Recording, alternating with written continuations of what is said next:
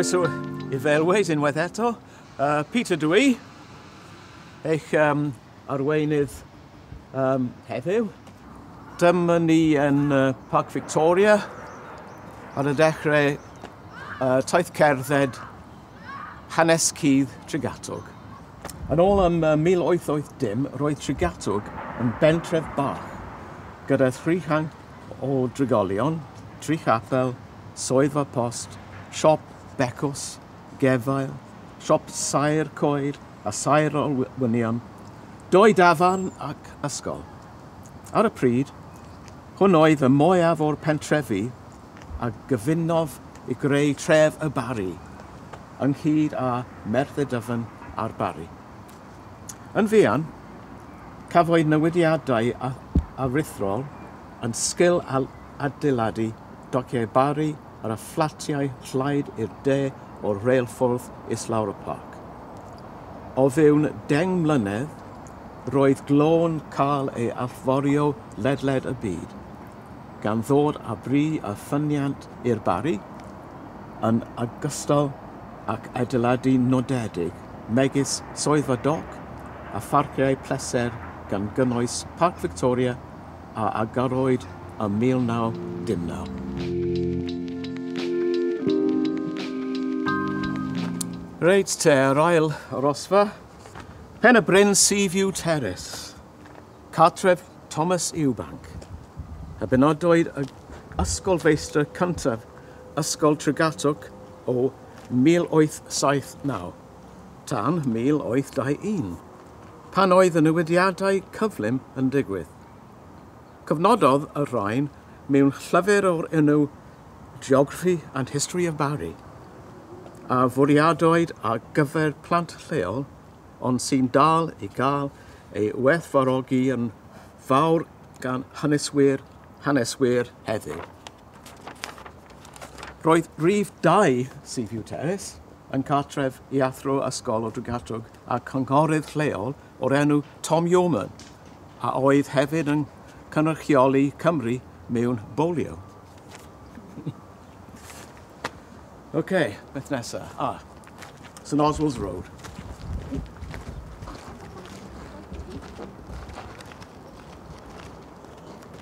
Reit, te dacw... Um, St Oswald's Road. Pwy oedd um, St Oswald? Wel, cafodd y street er henwyn Oswald Road ar ôl Oswald Evans, a chai arnwethwr, a'r adeilodd adeiladodd y tŷ cyntaf yn y stryd.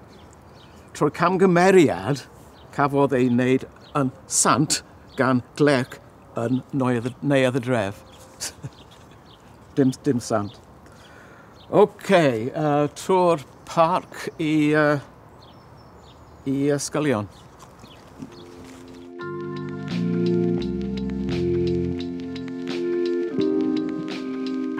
Right.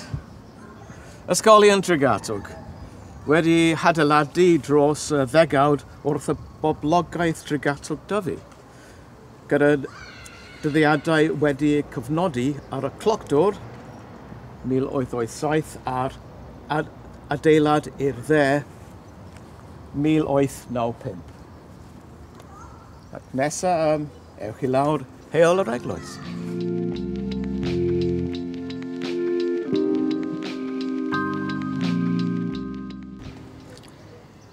Yn y 1880au, roedd brics yn cael ei darparu gan berchnogion o Glofeidd ac o Frista a Bridgewater. Yna, roedd brics lleol yn cael ei cynhyrchu yng Ngrigatwg a'i stampio ar enw Biglis, New Dock, Caddoxton neu Globe Arkle oedd y caletaf yn ôl y sôn. Adeiladoedd tai Cymreig a Saesnig yn heol yr eglwys, ym 1891. Mae gan y tai Cymreig a ddirniadau deiliog uwch ben ddrysia a ffenestri, ddrysia a ffenestri, i gadw ysbrydion drwg draw. Mae y rhai Saesnig wedi ei wneud o frics heb unrhyw ardduniad, ond mae gan rhai crafwyr esgidiau ar gyfer esgidiau gweithwyr arcyl. Yn ddiweddrach, Roedd yn cael ei defnyddio gan y dyn llath i ddal poteli llath.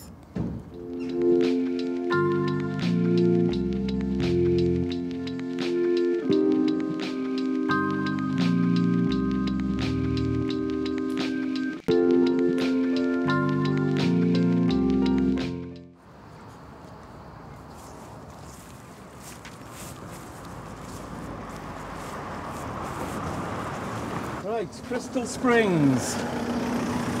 Roedd yr ardal hon yn cynnwys ar y dynnau calch. I losgi garreg oedd yn cael ei chwareli yma.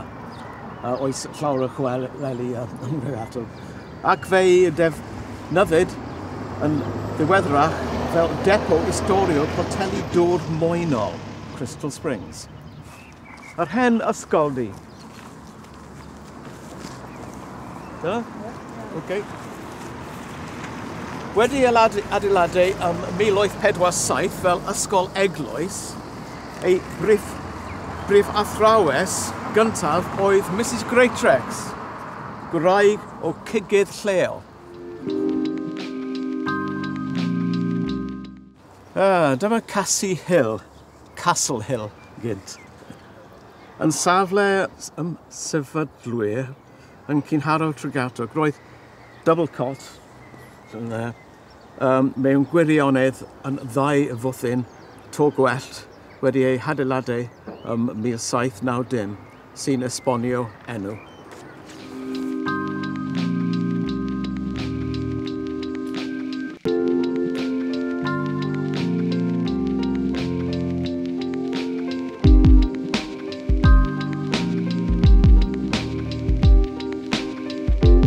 Eglwys Cadog Sant. Sant Celtaidd pwysig oedd cad cadog ddwyth. A aned tua flwyddyn 500 oes Grist, ef oedd sylfaenydd y fynachlog fawr ei brian Llancarfan. Yn y fynwent, saif y gofeb ryfel a adeiladwyd ar syl sylfaeni croes canoloesol ac yno ceir beddau Thomas Ewbank. Hwna.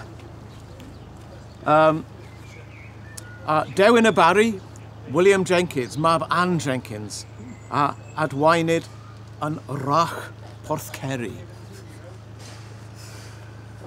Reit, um, ewch ymlaen i ddilyn Colbrook Road West. Dyna.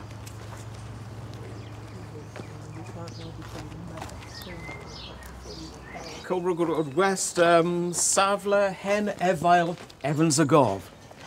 Um, roedd Hebel's House, um, 1887, yn ysgol preifat i ferched, ac roedd Golden Grove um, yn cartrefyd y dewin William Jenkins ac yn ddiweddrach Mr Walker, adeiladwr dociau Bari. Dyma'r afon bach, afon Colbrook, mae hefyd yn llifo heibio Merthyr Dyfan ac fe'i defnyddydd ar gyfer bydyddio.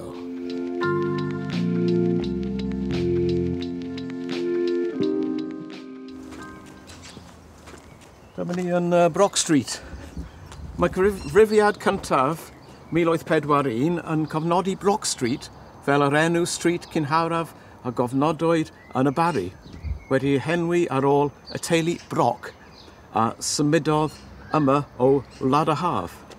Yn y ffermdy, mae gan y ffermdy y Bowers o bedwarydd y ganrif y bymtheg, gwrbyn uchel i alluogi gwragedd i godi ei sgertiau uwchben a lôn fwdlyd. Ar y dde, a frig Cobalt Road West, mae Nap House o'r uh, deunawfed ganrif yn gyferbyn roedd padog y pentref. Dana, dyna, um, yr hen llwyfen, o roedd y, y hen llwyfen, yn gylchfan fach fer ebyn hyn. Yma'n cyfarfod i pentrefwyr glywed newyddion wedi ei gyfleu o Lundain. Roedd Christmas Evans, pregethwr, anghydffurfiol ac unllygeidiog yn Wocof Cymru yn arfer pregrethu wrth y coeden. Reit, um, dyma Little Hill. Mae'r adeiladau yn cynnwys Hillside, dyddiedig 1776, a ddaeth yn dafarn. Ym 1778 cafodd William Jenkins ddadl yma a'r arweiniodd at o'n gwneud penid cyhoeddus yn eglwys Cadog Sant. Hmm. Okay. Yn ôl i uh, o'i heil y bont. Reit, unwaith eto, hel y bont. Yr un adeg, dyma oedd street fawr Tregatog. Um, roedd tafan um, William Pedwar a'r adeiladoedd rhwng um, 1830 a 1837 yn cynnal cyniawau a dathliadau mawr ar, ar un adeg. Adeiladoedd capel y bedyddwyr Philadelphia ym 1813 hen capel na trwy'r gat yna. Dyna bythynod Hillside. Roedd, roedd bythynod Hillside yn siop a swyddfa post yn pentref ar un adeg. Ple ym 1807 roedd y post yn cael ei casglu a droed o Gaerdydd gan alw yn relau uh, Gwenfo a Thregatwg cyn dychwelyd yn 12 miltir yn ôl i Gaerdydd. Reit, um, Mae adeiladau eraill yn cynnwys Caerlan, fferm di arall o'r bedwarydd canrif y bymtheg, cartref i'r teulu Jordan, a daeth Hatch Cottage, gyda Hatch Farm di fagos yn siop gigydd gyntaf y bari. Fe dymchwelwyd am 1932 i ledu'r ffordd.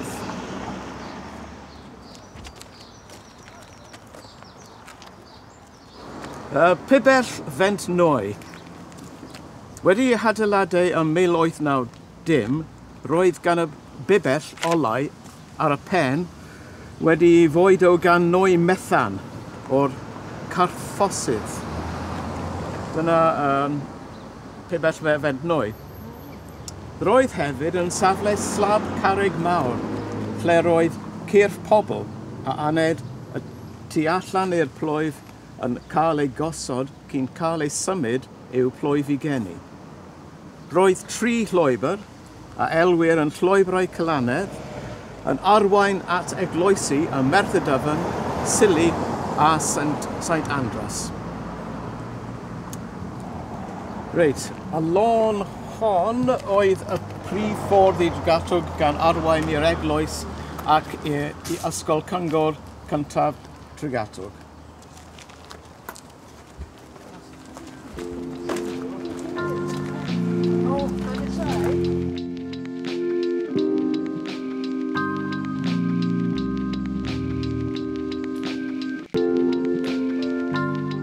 Dyna ni'r ben y lôn, a i'r dde o rysiau dwbl trawiadol.